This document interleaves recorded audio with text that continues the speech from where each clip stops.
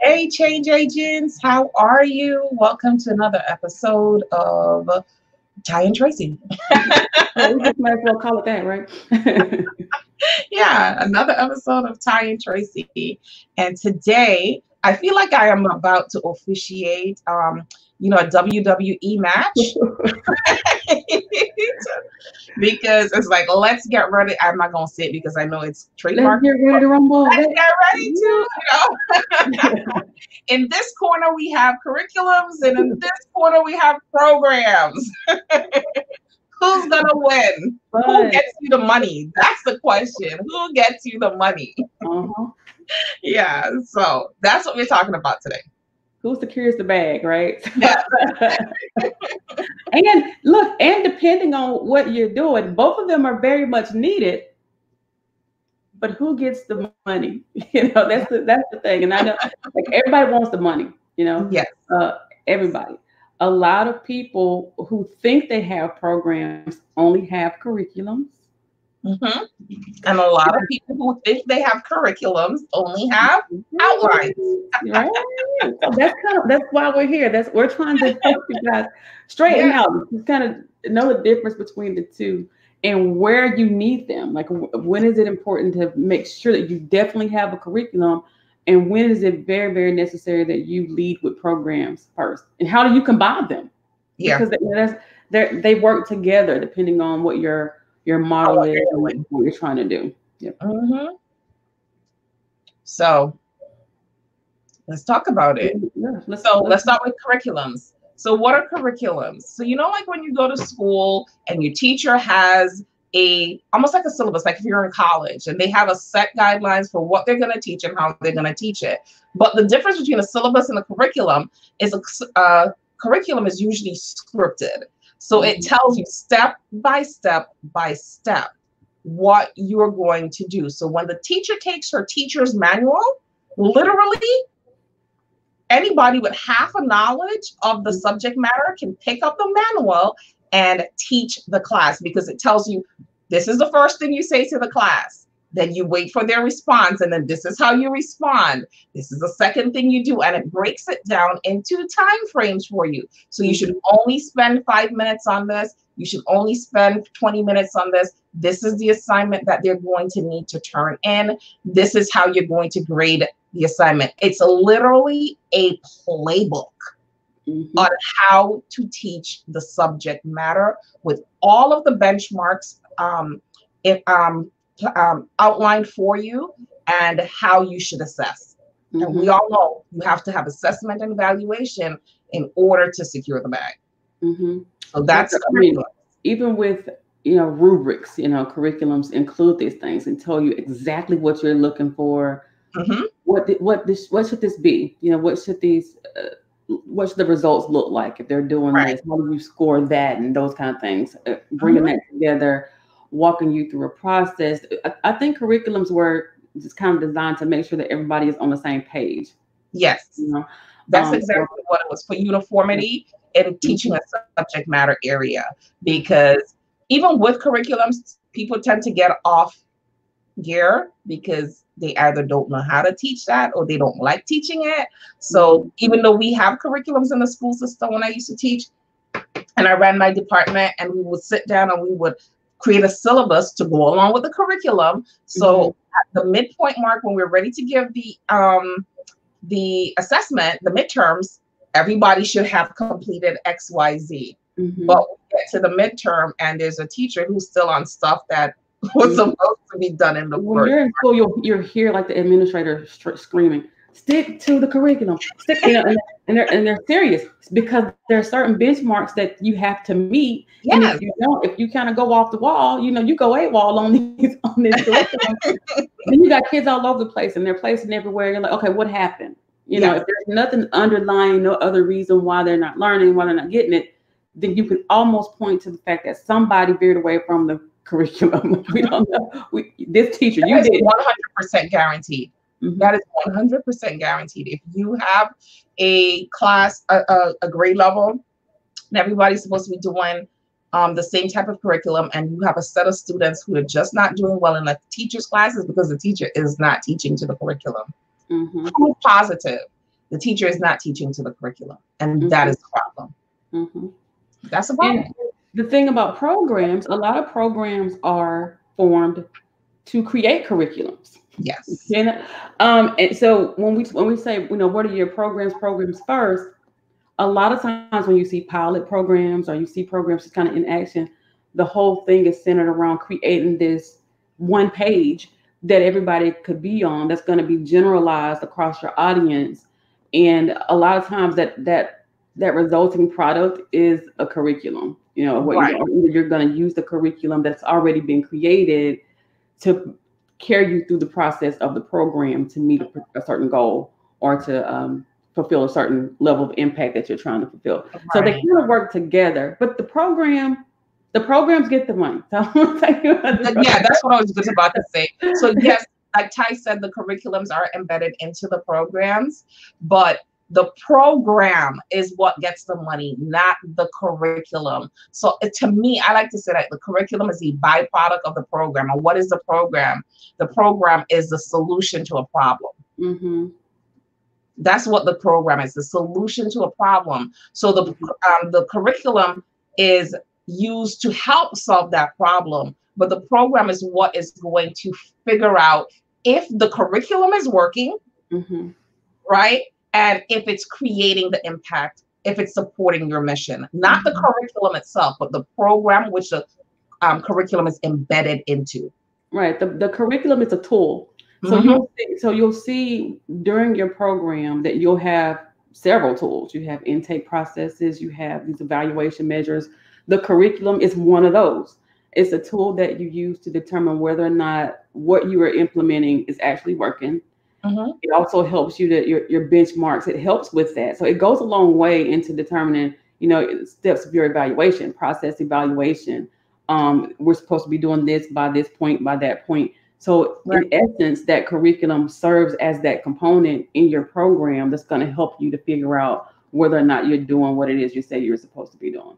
Right and then I can bring it back to the analogy because most people, everybody I think here has been to school, right? Or you have kids in school. So the way how a teacher assesses that the curriculum is actually working or that they have met the benchmarks of the curriculum is through some type of a project, a cumulative project, a quiz, or a test.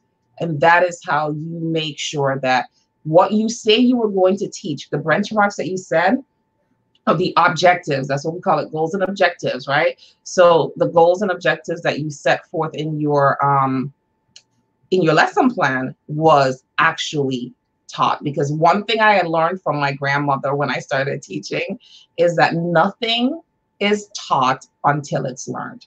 Mm-hmm.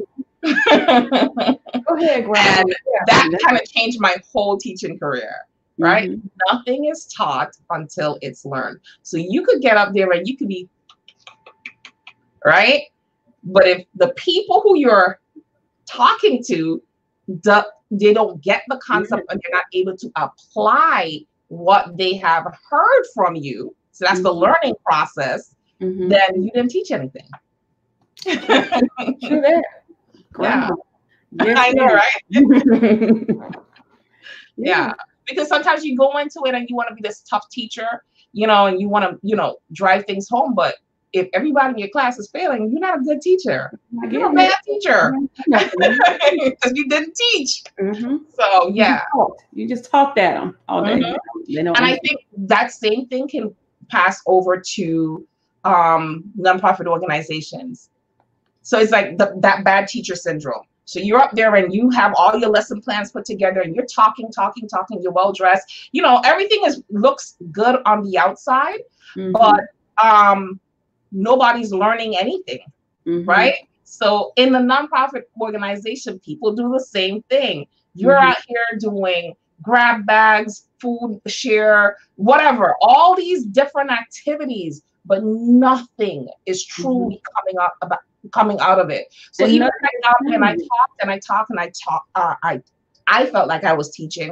And only mm-hmm. one person, one single person out of a class of 30 got it. Did I really create an impact? Yes, I know we say that we create an impact with one person at a time. but not when you have a whole group of 30 people sitting in front of you for nine months, 10 months. Mm-hmm. Come on now. you know, so yeah, and nothing changes. And the, the purpose of programs, you know, you were saying when we started that programs are the solution to a problem. Mm-hmm. The purpose of programs is to produce an impact. That's the mm-hmm. whole reason that they are here. So you're supposed to make a difference. You're supposed to change somebody's behavior. You're supposed to change their attitude. You're supposed to change their circumstances or their situations. Mm-hmm. And a lot of times we're just doing stuff, you know, with the grab bags and the book book bags and the mm-hmm. seminars and the webinars or whatever it is and the workshops that y'all are doing. Nothing is happening. Mm-hmm. And that's how you know that what if even if you have a curriculum or you think you have a program, that's how you know that it's not working because you the right. same people who came to your services last year Still and spent your resources last year. You gave them all the food baskets last year. You gave them all the backpacks last year. Mm-hmm. And then this year, they're back again. Three years ago, three years from now, the same three people are, are back again. And you, so what what are you doing? Is that the thing that you're doing? Is it making a difference? Are you teaching them anything? Are they just going to be forever dependent on your services? And this is what I think a lot of funders um, are concerned with because they're they're not in this game to just give you money for the rest of your life, you know, for the life cycle. The nonprofit too should not be in the game of just right. giving services away to the same people continuously. Yeah, I, I think what we get into is enabling a lot, and I, and and that's not the goal of programs. Programs are to create a difference and to, to make a positive change, to make a positive impact. So if you're, and I understand your services maybe to provide backpacks, and this is what you're doing, right? Mm-hmm. But every year, this same mom comes for the last six years. Through you know, her kid started out in kindergarten, and now she got now he's in twelfth grade, and you're still having to give her a backpack in your summer drive because she does not know how to get a backpack for her kid. Then there's a problem with your program. Right. Well, okay, your- let's piggyback on what you just said if the same mom is coming every year for a backpack or school supplies for their child, right? How do you even know that it's the same person mm-hmm. that's coming every year? You may mm-hmm. recognize the person, mm-hmm. but do you really have a system in place? This is part of the mm-hmm. programs. Do mm-hmm. you have a system in place to track the yeah. people who are coming every single year or who are coming sporadically? Maybe they only came once, maybe they came twice Mm-hmm. Maybe they, like Ty said, this is year number 5 mm-hmm. By year number two, you should have an intervention in place. If you see someone coming for a particular service, if it's food, if it's supplies, that type of stuff, you have to have an intervention in place because we talked about this in some of our other um, sessions when we talked about collaborations, having collaborative partners within the community. And sometimes you even have to have sub programs to support your main program because you see that there's a deficit that you did not foresee going into creating your program.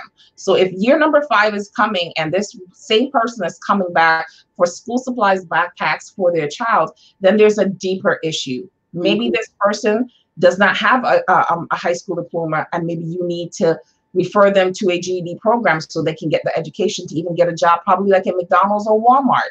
You know, maybe it's um, they have a child at home that has special needs and they're not able to go out to work. Maybe you need to have them, someone from the Department of Human Services, um, come out and assist them with getting a caregiver or getting that child into a program. You need to find out what is going on. Mm-hmm. No one should need the same services year after year and after year part of having programs is about evaluation and we talked about long-term sustainability hmm. and even if they're not coming back why aren't they coming back that too. Yes. Is your program teach them something to make them a better person? Are you capturing that information? What happened? So you can use that for your your next funding opportunities, right? And all Did that they, comes in the follow up. Right? Did they die? Did, I mean, what what happened? What what's going on? Like, what is what is it? So you have That's to a serious question because I've worked with nonprofit organizations who kept sending people stuff or had people on their their um their list of people that they were providing services for didn't even know people died like two three years ago mm-hmm. because there was no true follow up. They just kind of stayed on the list mm-hmm. as a mm-hmm. number, you know. So the follow up, have someone whether it's your administrative assistant, which I would not suggest, you need a program director who's mm-hmm. actually going to take the time and follow up with all of the clients who have come through your program so that when you go to write you go to look for grants and this always because everybody wants a grant right so when you go to look for grants this information becomes pertinent mm-hmm.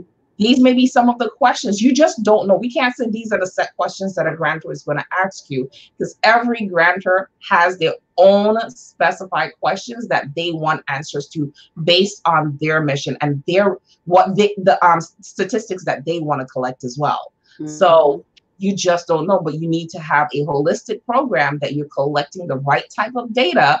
And when you need it, you can just pull from it. Yeah, I mean, I, I think that's kind of in a nutshell. And, the, and I mean, because of the programs, because you get this specific information, you know, this evaluation is so big in programs. That's why programs get you the money because the mm-hmm. funders see dollars. Dollars come from evaluation. It comes from statistics. In everything that's a number, that's what the funder is looking at. Like, what are these numbers? We're looking at money. You're looking at evaluation. You're looking at impact um, statements and things like that is what the funder is wanting to see. And when you're when you're kind of so stuck on curriculum and the A, B, C through Z of it, you forget about the fact that you're supposed to be producing this this impact in the end. I mean, I think that the curriculum takes you so far. Because, but most know, are curriculum writers. Right. And then and again, and what, what they're a lot of people are writing is they think it's curriculum, they're writing outlines. Mm-hmm. they're writing they're writing outlines or mm-hmm. overviews and mm-hmm. they're assuming that this is a curriculum, but it is not. There's several pieces to the curriculum that also incorporates measurement. Um, like I said, in, a, a, curriculum is a tool. So, and if you're just having an outline, that's a guide, not the same thing as a tool. Because a tool is actually something that you could use. A guide is something that you can look at. Mm-hmm. yeah, you're right. but yeah, so if we had to say curriculum versus programs again, who wins? now, we're kind of like this. Like yeah. I know, right? yeah. But every day programs went out. All day, every day. If you're looking for money for your organization, programs are what you need to develop. And that's why we developed this system again. Building profitable programs, like legit that's what it is. You're building programs that are going to get you fully funded. Everybody. Funded or free. Can we go there right now? Because we know what we know, right? and if you if you take what we teach you and you implement it accordingly, then you'll get the funding. You know, basically that's that's it. And guaranteed. I, and I'm guaranteed. guaranteed, right? People try to skip. You know, they're like, "Oh, I don't want to do that. That's Tracy giving me all this work and stuff. This is work. The funding fairy is dead. I said all the time. She died in 1983 of natural causes. she ain't coming back. There was she had a do not resuscitate order. So um, she's gone. So now you gotta do the work. You gotta, yeah, you, you gotta do work. It's a lot of work, but once you implement the strategies that we're going to teach you in the class and so last time we were here, we said by the time we came back, we probably have another bonus and a longer program, right? And so we do. we get a new. We need to stop doing these because we're the bonus. Every day. No, we're not adding anything else to it, but we keep seeing different components. Like when we talk to our clients, and we're like, okay, we just have to put this in. So now there's going to be not just a program for funding, but a whole funding section of this. So we're helping you with your infrastructure. We're helping you to build a program. We're helping you to do all of your assessments. This has now gone from a six month program to a year long program. Because you need a year. I mean, um, yes, really you can't see lasting change under a year. And mm-hmm. we're helping you step by step through the program. You have uh, almost, almost untethered access to Ty and I to help. And it's big right there. Funded. Exactly. Yeah. calendar. I promise y'all. Okay. And then when we're done, because we believe in programs. So this is why we did this for a year, because we're not just going to give you the information and say, bye, it was nice seeing you. Let's be honest. Like I just said, nothing is learned until it's taught. So how many times have you taken an online course and you're going, okay, that was some good information, but now what? Now what do I do with it? You know, right. So it's the implement. You can have knowledge. You can read a book all day, every day. You could watch a program. You could absorb information. But having information and not being able to implement the information is mm-hmm. completely different. Implementation is where the learning process. When you know someone has truly learned, is when they're able to do step by step what you taught them to do. Most mm-hmm. people don't learn that way. They actually need the information and then they need the hand holding mm-hmm. through the process to make sure that they're doing it right. And that's what we're going to be providing for you. And a lot like you're saying, because I have a lot of people like this, Todd, just hold my hand, just hold, just hold my, just hold my. And sometimes you just, really, especially when you're going into you know territory that you're really unfamiliar with or you're not comfortable with, programs are that's a huge thing. It is. If you want to see a successful organization, look at their programs. Mm-hmm. Mm-hmm. Look at them. If you're right here struggling, if you're on ground zero or level one, and you're like, man, I wish my organization could be like this. I wish my organization could be like a Salvation Army. I wish my organization. You know something? Like maybe we should do a case study. Yeah. Yeah, so that they can truly understand yeah. the power of the program. Mm-hmm. Yeah. We should. Yeah. So now we just added that. So yeah. yeah.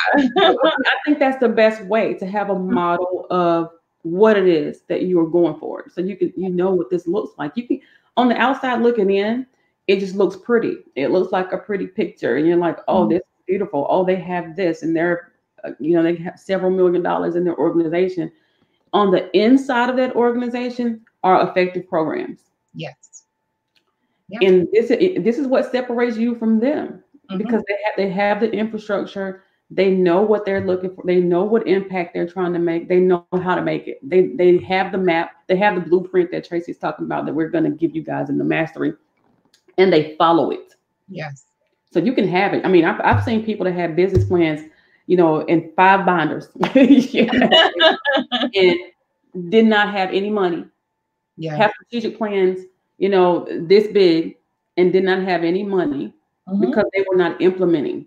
Yeah. So it's all about implementation for the year. This is y'all gonna be mad, right? And this is because this is another reason why for accountability because you have to do the work. If you don't do the work, it's not going. We can give you information all day, mm-hmm.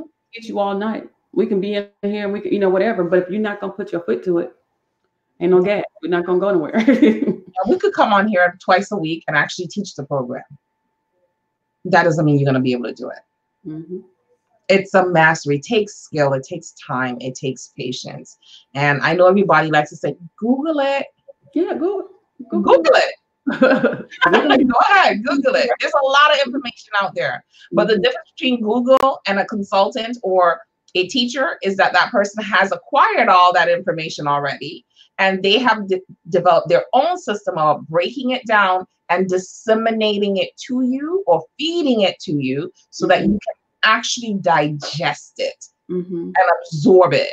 Okay, because if you eat food and your digestive system is wacky, you're not going to be absorbing any of the nutrients. Therefore, you shouldn't even bother eating because you're just wasting your time, mm-hmm. right? And we know that some people suffer from malabsorption. So it's the same process. I mean, I'm, i can use analogies all day to try to explain to you that yes, you can Google anything. There, Google is a treasure trove of information.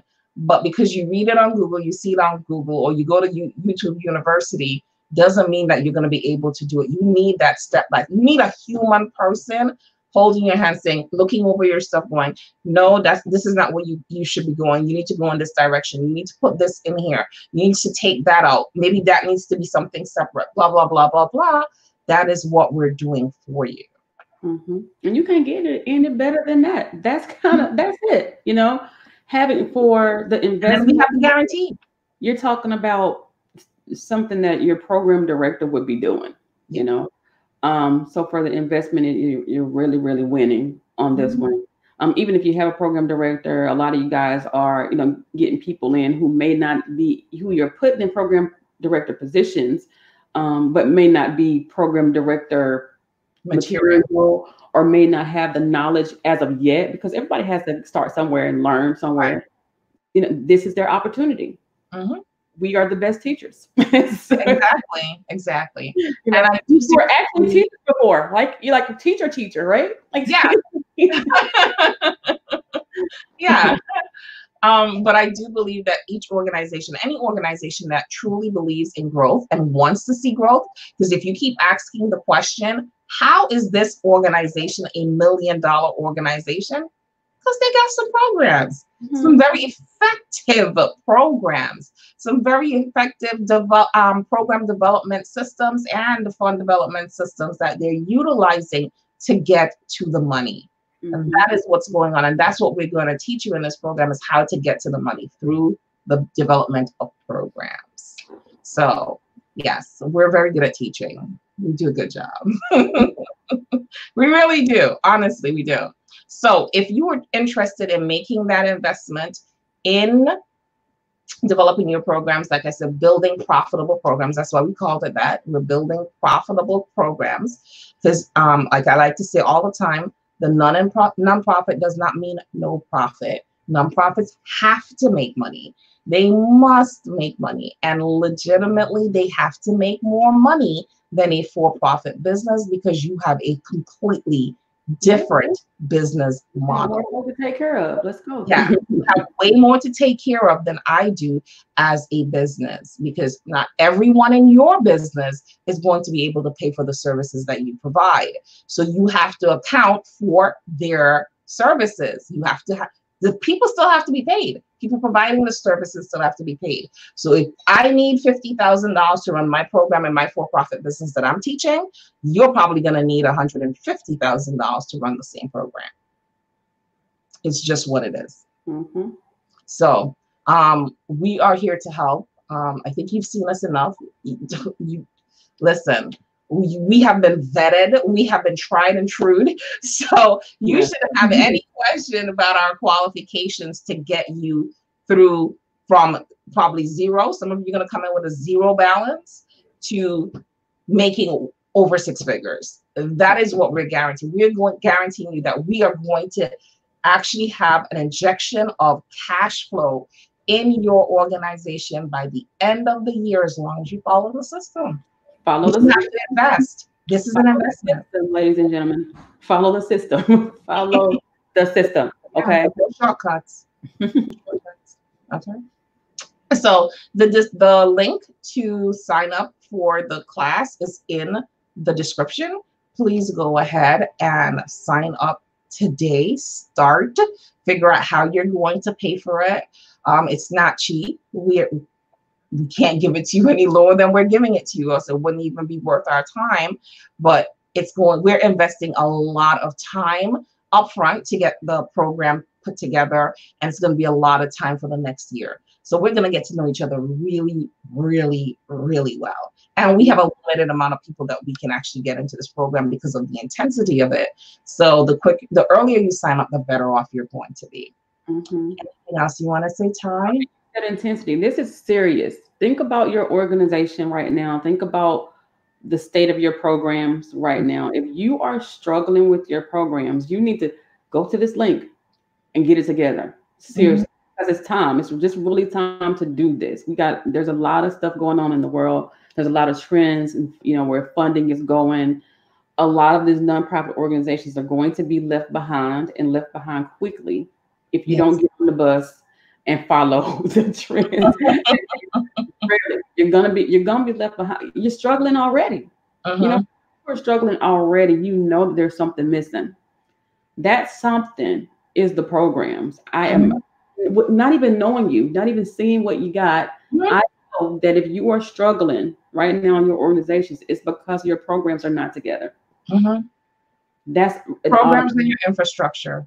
Your infrastructure, and, and, it kind of you know it builds upon each other. I mean, you, yeah. we're even you know because we know that it builds upon each everything builds upon the other thing. Mm-hmm. This mastery that we have helps you to get the infrastructure together as well. So this is why we're here for a year because we just can't throw a program at you, right? Yeah. Here's your program without knowing what you know what kind of foundation we're working with. And see, we did the exact same thing that we're telling you about so that's exactly what we came out with 1st mm-hmm. We were just coming to teach you program development, how to develop a profitable program. And as mm-hmm. we kept talking to people and we kept talking about it amongst ourselves and looking at, you know, what we have had, the problems we've had with clients throughout the years and what we're seeing, in different groups that we're in, we're like, okay, we got to add this. Oh, mm-hmm. wait, this is going on now. So we need to add this piece. Um, oh, that's going on. So we need to add this piece. And then it just kind of developed from there into a bigger and more holistic program mm-hmm. um, development model that is really going to get you where you need to go. Yep. Yep. So join yeah. us. So we'll see y'all in the program, right? Definitely. All right. So again, um, like and share this with someone that you know who needs it. Um, uh, put replay, hashtag replay in the comment section so we know that you were here and go ahead and sign up for the program today. Figure it out. Figure it out. All right. Bye, everyone.